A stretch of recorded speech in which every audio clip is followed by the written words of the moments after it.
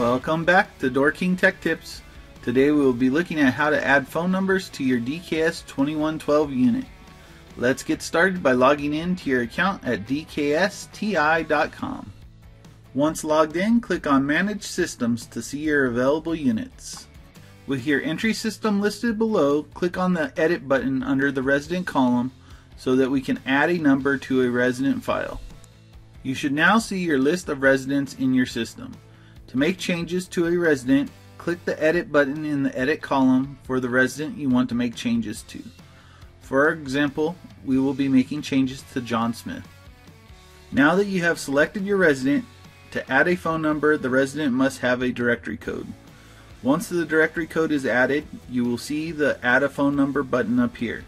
Click on Add a Phone Number. On the phone number page, the DKS 2112 allows you to add up to four phone numbers per directory code, which can be set to all ring at the same time. Then whichever phone is answered first will be connected to the system. To start adding phone numbers, click the Add a Phone button on the left. You will now be asked to enter the phone number. After entering your phone number, click on the Add Phone button below. With the phone number now added, we have a few more settings we can adjust for the number. First being the name.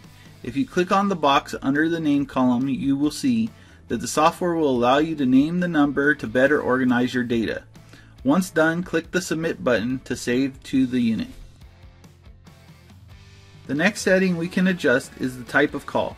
By clicking on the box under Call Type, you will be able to select if it will be a regular phone call or a video call going to a cell phone with the DK Video Call app installed on your Android or iPhone device.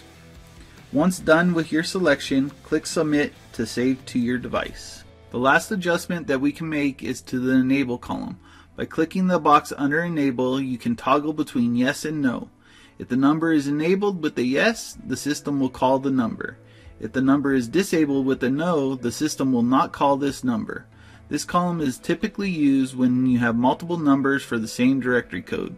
So instead of dialing all listed numbers, the system will only dial enabled numbers on the list. Be sure to click Submit to save your selection.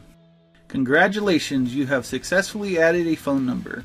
Remember, you can add up to four different phone numbers to one directory code that can all be called at once. To add another number, click the Add a Phone button again and repeat the previous steps to edit the name, call type, and enable. And we'll see you next time for more DoorKing Tech Tips.